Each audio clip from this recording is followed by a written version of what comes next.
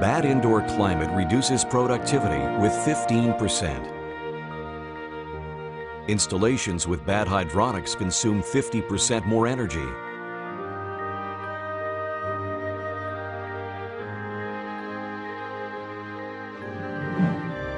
A climate installation is never static, but subject to changes in demand. It will vary depending on heat loads from people, lighting, office equipment, and the weather outside. When a valve at one location is closed, this influences other parts of the installation. These influences cause fluctuations of the indoor temperature, which causes discomfort for the people in the building.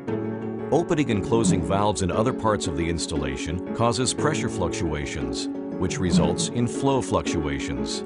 Consequently, the actuator on the valve needs to constantly adjust to compensate for this. The ABQM is a control valve with a built-in pressure controller. This design ensures that the flow in your system remains ideal during all loads, even though the pressure might fluctuate, the flow through the ABQM valve is always precisely controlled.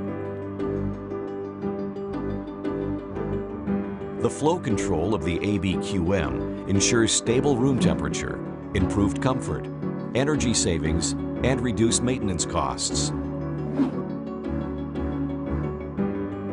Despite differences in pressure, the ABQM pressure independent balancing and control valve maintains a constant flow across the valve. This means stable room temperatures. ABQM saves energy, saves money, provides stable room temperature, improves comfort, reduces maintenance costs. The ABQM can be applied in fan coil units, air handling units, and climate ceilings. The ABQM is the best performing pressure independent balancing and control valve tested by independent research institutes.